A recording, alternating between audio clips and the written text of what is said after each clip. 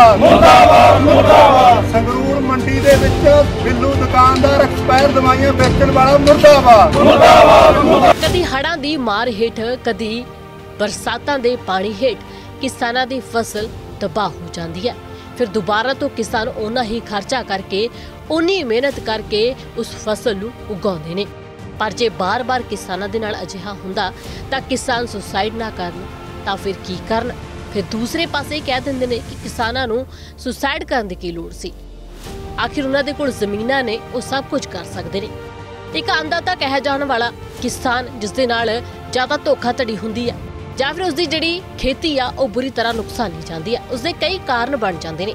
ਹੁਣ ਤਾਸਾ ਮਾਮਲਾ ਸੰਗਰੂਰ ਤੋਂ ਦੇਖਣ ਨੂੰ ਮਿਲਿਆ, ਜਿੱਥੇ ਕਿ ਸੰਗਰੂਰ ਦੇ ਵਿੱਚ ਇੱਕ ਦੁਕਾਨ ਮਾਲਕ ਦੇ ਵੱਲੋਂ ਕਿਸਾਨਾਂ ਦੇ ਨਾਲ ਧੋਖਾਧੜੀ ਕੀਤੀ ਗਈ ਹੈ ਇਹ ਧੋਖਾਧੜੀ ਕੀ ਕੀਤੀ ਆ, ਇਹ ਵੀ ਤੁਹਾਨੂੰ ਦੱਸਦੇ ਹਾਂ। ਸੰਗਰੂਰ ਦੇ ਵਿੱਚ ਇੱਕ ਵੱਡੀ ਕੀਟਨਾਸ਼ਕ ਦੁਕਾਨ ਵੱਲੋਂ ਕਿਸਾਨਾਂ ਨਾਲ ਧੋਖਾਧੜੀ ਕਰਨ ਦਾ ਇਹ ਮਾਮਲਾ ਸਾਹਮਣੇ ਆਇਆ, ਜਿੱਥੇ ਕਿਸਾਨਾਂ ਦਾ ਕਹਿਣਾ ਹੈ ਕਿ ਕੀਟਨਾਸ਼ਕ ਦੀ ਦੁਕਾਨ ਤੋਂ ਉਹਨਾਂ ਨੇ ਝੋਨੇ ਦੀ ਫਸਲ ਤੇ ਸਪਰੇਅ ਕਰਨ ਦੇ ਲਈ ਦਵਾਈ ਲਈ ਸੀ। ਪਰ ਉਹਨਾਂ ਨੂੰ ਉਦੋਂ ਪਤਾ ਲੱਗਾ ਕਿ ਇਹ ਦਵਾਈ ਐਕਸਪਾਇਰ ਹੋ ਚੁੱਕੀ ਹੈ ਜਦੋਂ ਉਹਨਾਂ ਨੇ ਦਵਾਈ ਦਾ ਛਿੜਕਾਅ ਫਸਲ ਤੇ ਕੀਤਾ, ਪਰ ਉਸ ਦਾ ਕੋਈ ਅਸਰ ਨਹੀਂ ਦਿਖਾਈ ਦਿੱਤਾ। ਇਹ ਸਤਿਅਮ ਪੈਸਟੀਸਾਈਡ ਸੰਗਰੂਰ ਆ ਜੀ, ਬਿੱਲੂ ਦੀ ਦੁਕਾਨ ਆ ਇਹ, ਅਨਾਜ ਮੰਡੀ ਦੇ ਵਿੱਚ ਸੰਗਰੂਰ ਆ। ਤੇ ਅਸੀਂ ਇਹ ਜੀ ਸਪਰੇਹਾਂ ਲੈ ਕੇ ਆਏ ਸੀਗੇ। ਤੇ ਜਿਹੜੀਆਂ ਮਤਲਬ ਕਿ ਜਦੋਂ ਅਸੀਂ ਛਿੜਕਦੀਆਂ ਜੀ ਸਾਡੇ ਖੇਤ ਦੇ ਵਿੱਚ ਸਾਡੇ ਸੁੰਡੀ ਨੇ ਬਹੁਤ ਨੁਕਸਾਨ ਕਰਤਾ ਜਦੋਂ ਅਸੀਂ ਮਤਲਬ ਕਿ ਦੇਖਿਆ ਦੁਬਾਰੇ ਸਾਡੇ ਸੁੰਡੀ ਨਹੀਂ ਮਰੀ ਖੇਤਾਂ ਦੇ ਵਿੱਚ। ਚਲੋ ਅਸੀਂ ਦਵਾਈ ਦੀ ਗੌਰ ਕਰੀ ਜੀ ਵੀ ਆਪਣੇ ਦਵਾਈ 'ਚ ਕੋਈ ਫਲਟ ਹੋਊਗਾ। ਜਦੋਂ ਸਾਨੂੰ ਪਤਾ ਲੱਗਿਆ ਸੀਸੀਆਂ ਦੀ ਜਿਹੜੀ ਉਹ ਡੇਟਾ ਐਕਸਪਾਇਰੀ ਹੋਈ ਹੋਈ ਸੀਗੀ ਜੀ ਜਿਹੜੀ ਸਾਨੂੰ ਇਹਨੇ ਦਵਾਈ ਦਿੱਤੀ ਬੈਸਟੀਕੋਰ ਬਾਸਫ ਦੀ ਜੀ। ਤੇ ਇੱਕ ਇਹ ਜਿਹੜੀ ਦੂਸਰੀ ਦਵਾਈ ਸੀਗੀ ਮਤਲਬ ਕਿ ਜੀ ਇਹ ਬੈਸਾਲੀਨ ਜੀ 500 ml ਤੇ ਇਹ ਤੀ ਜਿਹੜੀ ਇਹਦੇ ਮਤਲਬ ਕਿ ਜੀ ਇਹਦੀ ਵੀ ਛੇੜਛਾੜ ਕਰੀ ਹੋਈ ਤੀ ਦਵਾਈ ਦੀ। ਇਹਦੀ ਜਿਹੜੀ ਐਕਸਪਾਇਰੀ ਮਤਲਬ ਕਿ 23 ਚ ਟੱਪ ਗਈ ਸੀਗੀ ਜੀ ਤੇ ਤੀਜੇ ਚੌਥੇ ਮਹੀਨੇ ਦੀ ਉਹਦੇ ਚ 25 ਮਤਲਬ ਕਿ ਢਾਹ ਕੇ ਤੀਏ ਤੋਂ ਜੀ ਪੰਜਾ ਬਣਾਇਆ ਹੋਇਆ ਸੀਗਾ।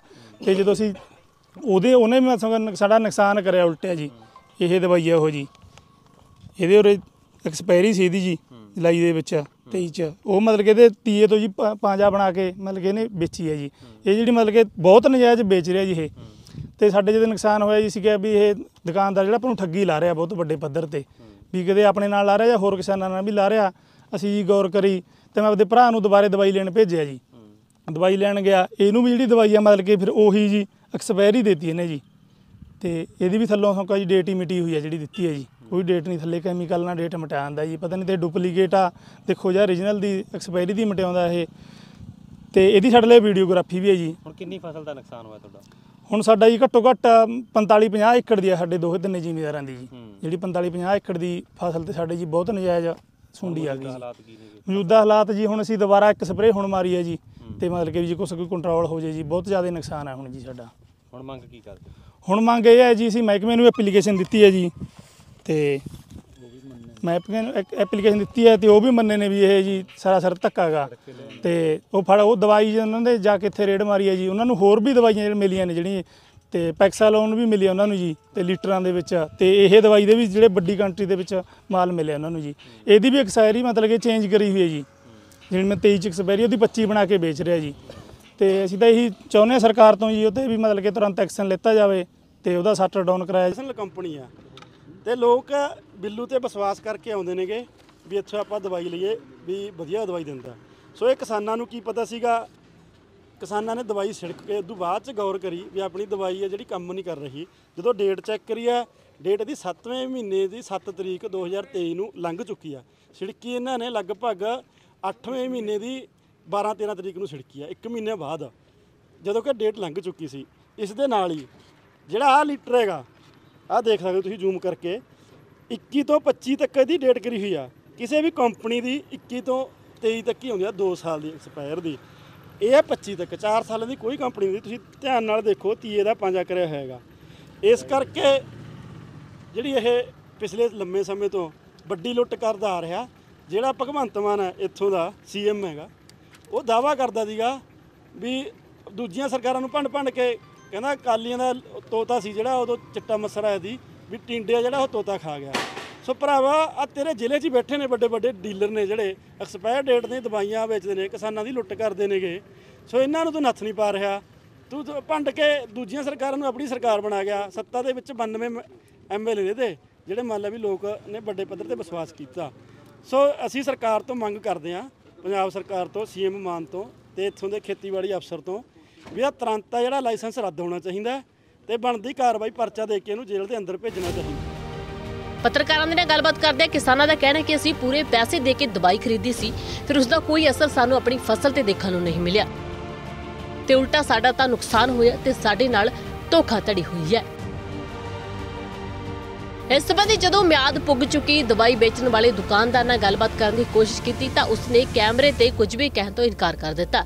ਪਰ ਮੰਨਿਆ ਕਿ ਉਹਨਾਂ ਦੀ ਦੁਕਾਨ ਤੇ ਮਿਆਦ ਪੁੱਗ ਚੁੱਕੀ ਦਵਾਈ ਪਈ ਸੀ, ਜੋ ਉਸਨੇ ਕਿਸਾਨਾਂ ਨੂੰ ਦਿੱਤੀ ਹੈ। ਇਸ ਤੋਂ ਅੱਗੇ ਬੋਲਦੇ ਹੋਏ ਦੁਕਾਨ ਮਾਲਕ ਨੇ ਕਿਹਾ ਕਿ ਸਾਨੂੰ ਇਸ ਦਵਾਈ ਬਾਰੇ ਕੋਈ ਵੀ ਜਾਣਕਾਰੀ ਨਹੀਂ ਸੀ। ਇਹ ਉੱਥੋਂ ਦੇ ਕਿਸਾਨਾਂ ਨੂੰ ਦੇ ਦਿੱਤੀ ਗਈ। ਪਰ ਹੁਣ ਸਾਡੀ ਦੁਕਾਨ ਤੇ ਕੋਈ ਵੀ ਮਿਆਦ ਪੁੱਗ ਚੁੱਕੀ ਦਵਾਈ ਨਹੀਂ ਹੈ। ਪਰ ਹੁਣ ਤੁਹਾਨੂੰ ਦੱਸ ਦੇ ਕਿ ਕਿਸਾਨਾਂ ਨੇ ਗੱਲਬਾਤ ਕਰਦਿਆਂ ਕਿਹਾ ਕਿ ਹਰ ਇੱਕ ਵਾਰ ਕਿਸਾਨ ਹੀ ਕਿਉਂ ਮੋਹਰਾ ਬਣਦਾ ਹੈ ਤੇ ਕਿਸਾਨ ਨਾਲ ਹੀ ਕਿਉਂ ਧੋਖਾ ਹੁੰਦਾ ਹੈ ਕਿਉਂਕਿ ਕਦੇ ਤਾਂ ਸਾਡੀਆਂ ਫਸਲਾਂ ਹੜ੍ਹਾਂ ਦੇ ਵਿੱਚ ਬਹਿ ਜਾਂਦੀਆਂ ਨੇ, ਕਦੇ ਬਰਸਾਤਾਂ ਦੇ ਨਾਲ ਸਾਡੀ ਫਸਲ ਦਾ ਵੱਡਾ ਨੁਕਸਾਨ ਹੁੰਦਾ ਹੈ ਇਸ ਮੌਕੇ ਤੇ ਜਦੋਂ ਖੇਤੀਬਾੜੀ ਵਿਭਾਗ ਦੇ ਅਧਿਕਾਰੀ ਨਾਲ ਗੱਲਬਾਤ ਕੀਤੀ ਜਾਂਦੀ ਆ, ਤਾਂ ਉਹ ਕੀ ਕਹਿੰਦੇ ਨੇ ਇਸ ਮਾਮਲੇ ਨੂੰ ਲੈ ਕੇ ਆਓ ਤੁਹਾਨੂੰ ਉਹਨਾਂ ਦੀ ਜ਼ੁਬਾਨੀ ਸੁਣਦੇ ਹਾਂ। ਹਾਂ, ਚੈਕਿੰਗ ਇਹਨਾਂ ਦੇ ਜਦੋਂ ਸਾਨੂੰ ਸ਼ਿਕਾਇਤ ਪ੍ਰਾਪਤ ਹੋਈ ਸੀਗੀ, ਉਸ ਤੋਂ ਅਗਲੇ ਦਿਨ ਹੀ 6 ਤਰੀਕ ਨੂੰ ਚੈਕਿੰਗ ਕਰੀ ਗਈ ਸੀ। ਇਸ ਸੰਬੰਧ ਦੇ ਵਿੱਚ ਇਹਨਾਂ ਦੀ ਦਰਖਾਸਤ ਇਹ ਸੀਗੀ ਵੀ ਜਿਹੜਾ ਐਕਸਪਾਇਰ ਮਾਲ ਆ ਉਹ ਮਿਲਿਆ ਗਿਆ ਹੈਗਾ ਵੀ ਉਹਨਾਂ ਦੇ ਵੱਲੋਂ ਵੀ ਕੋਈ ਵੀ ਐਕਸਪਾਇਰ ਮਾਲ ਆ, ਜਿਵੇਂ ਕੋਈ ਇੱਕ ਬੈਸਟੀਕੋਰ ਦਵਾਈ ਸੀਗੀ ਕੋਈ ਬੇਸਲਾਈਨ ਸੀਗੀ। ਇਹਨਾਂ ਦੇ ਉਹਦੇ ਦਰਖਾਸਤ ਦੇ ਵਿੱਚ ਲਿਖਿਆ ਹੋਇਆ ਸੀਗਾ, ਉਹਦੇ ਵਿੱਚ ਸਾਨੂੰ ਬੇਸਲਾਈਨ ਆ ਜਿਹੜੀ ਉਹ ਬਰਾਮਦ ਹੋਈ ਆ, ਉਹਦੇ ਕੋਲੋਂ ਐਕਸਪਾਇਰ ਮਾਲ 3 ਲੀਟਰ ਦੇ ਲਗਭਗ। ਤੇ ਇਸ ਤੋਂ ਇਲਾਵਾ ਡਿਊ ਪਾਉਣ ਦੀ ਵੀ ਅਸੀਂ ਕੋਈ ਜਿਹਦੇ ਵਿੱਚ ਉਹਦੇ ਇੱਕ ਤਰ੍ਹਾਂ ਦੀ ਛੇੜਛਾੜ ਲਾ ਲਓ ਵੀ ਡੀਲਰ ਨੇ ਕਰੀ ਹੋਈ ਆ, ਉਹਦੇ ਵਿੱਚ ਉਹਨਾਂ ਦਾ ਕੋਈ ਬੈਚ ਵਗੈਰਾ ਨਹੀਂ ਦਿਖ ਰਿਹਾ ਜਾਂ ਡੀਲਰ ਦੀ ਲਾ ਲਓ ਜਾਂ ਕੋਈ ਮਤਲਬ ਕਿ ਬਿਨਾ ਮਤਲਬ ਕਿ ਐਕਸਪਾਇਰੀ ਜਾਂ ਉਹਦੇ ਤੇ ਕੋਈ ਇਹ ਨਹੀਂ ਲਿਖਿਆ ਵੀ ਡੇਟ ਆਫ ਮੈਨੂਫੈਕਚਰਿੰਗ ਕੀ ਹੈਗੀ। ਜਿਹਦੇ ਸਬੰਧ ਦੇ ਵਿੱਚ ਅਸੀਂ ਉਹਦਾ ਉਹ ਜਿਹੜਾ ਮਾਲ ਸੀਗਾ, ਉਹ ਸੀਜ਼ਰ ਦੇ ਵਿੱਚ ਪਾ ਲਿਆ ਸੀਗਾ। ਇਸ ਤੋਂ ਬਾਅਦ ਵੀ ਜਿਹੜੀ ਦੀ ਬਣਦੀ ਕਾਰਵਾਈ ਹੈ ਅੱਗੇ ਉਹ ਮੁੱਖ ਖੇਤੀਬਾੜੀ ਅਫਸਰ ਸੰਗਰੂਰ ਜੀ ਨੂੰ ਲਿਖ ਕੇ ਭੇਜਿਆ ਹੈ ਵੀ ਉਹ ਹੋ ਜੂਗੀ। ਤਾਂ ਸਰ, ਜੇ ਗੱਲ ਕਰੀਏ ਜਾਵੇ ਤਾਂ ਹੁਣ ਤੱਕ ਕੋਈ ਇਹ ਵੀ ਪਤਾ ਲੱਗਿਆ ਕਿੰਨੀ ਕੁ ਦਵਾਈ ਹੈ ਜਿਹੜੀ ਇਸ ਤਰ੍ਹਾਂ ਦੀ ਉਹਦੇ ਵੱਲੋਂ ਵਿਕਰੀ ਕੀਤੀ ਟੋਟਲ ਹਜੇ ਉਹਦਾ ਅੰਦਾਜ਼ਾ ਨਹੀਂਗਾ ਵੀ ਆਪਣੀ ਕਿੰਨੀ ਕੁ ਵਿਕਰੀ ਹੋਈ ਹੈ ਜੀ। ਉਹ ਜਿਹੜਾ ਆਪਣੀ ਰਿਪੋਰਟ ਆ ਟੋਟਲ ਉਹਦੇ ਵਿੱਚ ਲਿਖਿਆ ਹੋਊਗਾ ਵੀ ਕੁੱਲ ਇੰਨਾ ਕੁ ਜਿਹੜਾ ਉਹਦੇ ਕੋਲੇ ਐਕਸਪਾਇਰ ਮਾਲ ਆਇਆ ਸੀ ਕਿਉਂਕਿ ਬਿੱਲ ਦੇ ਉੱਤੇ ਜਿਹੜਾ ਉਹਦਾ ਬਿੱਲ ਆ ਜਿਹੜੇ ਆਏ ਨੇਗੇ ਉਹਦੇ ਸੰਬੰਧ ਦੇ ਵਿੱਚ ਉਹ ਆਪਾਂ ਜਦੋਂ ਦੇਖਾਂਗੇ ਦੁਬਾਰਾ ਅਗਲੀ ਜਿਹੜੀ ਰਿਪੋਰਟ ਆ ਉਹ ਤਿਆਰ ਹੋ ਜੂਗੀ ਉਹਦੇ ਹਿਸਾਬ ਦੇ ਨਾਲ ਹੀ। ਤਾਂ ਝੋਨੇ ਦੇ ਫਸਲਾਂ ਦਾ ਜਿਹੜਾ ਸਪਰੇਅ ਦਾ ਸਮਾਂ ਚੱਲ ਰਿਹਾ ਤਾਂ ਤੁਹਾਡੇ ਵਿਭਾਗ ਵੱਲੋਂ ਕਿੰਨੀ ਕੁ ਜਿਹੜੀ ਚੈਕਿੰਗ ਹੈ ਜਿਹੜੀ ਇਸ ਤਰ੍ਹਾਂ ਦੇ ਡੀਲਰ ਨੇ ਉਹਨਾਂ ਦੀ ਕੀਤੀ ਜਾਂਦੀ ਹੈ? ਚੈਕਿੰਗ ਤਾਂ ਜੀ ਸਾਡੀ ਮਹੀਨਾਵਾਰ ਚੈਕਿੰਗ ਹੁੰਦੀ ਹੁੰਦੀ ਆ ਹਰੇਕ ਦੇ ਵਿੱਚ ਲਗਭਗ ਹੁਣ ਆਪਣੇ ਜਿੰਨੇ ਕ ਸੈਂਪਲ ਜਿਵੇਂ ਹੁੰਦੇ ਸੈਂਪਲਿੰਗ ਵਗੈਰਾ ਸਾਡੀ ਚੱਲਦੀ ਰਹਿੰਦੀ ਆ ਲਗਾਤਾਰ ਮਹੀਨਾਵਾਰ ਸਾਡਾ ਟਾਰਗੇਟ ਹੁੰਦਾ video report global Punjab TV